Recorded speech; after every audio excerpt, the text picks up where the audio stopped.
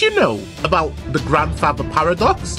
Imagine, can you travel back in time and erase your own existence? Here's the classic. You go back in time and accidentally prevent your grandfathers from meeting.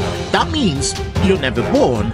But if you were never born, who went back in time? You see, this is the grandfather paradox, and it's one of the biggest headaches in physics. It breaks causality, the law that causes come before effects. Some physicists say time travel to the past is impossible because of this. Others propose solutions. For instance, one of those solutions is the multiverse theory. Your action spawn a new timeline, avoiding paradox. Another one is the self-consistency principle. The universe won't let you make changes that cause contradictions. And the third and final one is Novikov's principle, in which you can time travel, but everything you do was always part of history. So, if you try to change the past, maybe you already did. Want to go back in time? Just make sure you don't erase the reason why you came.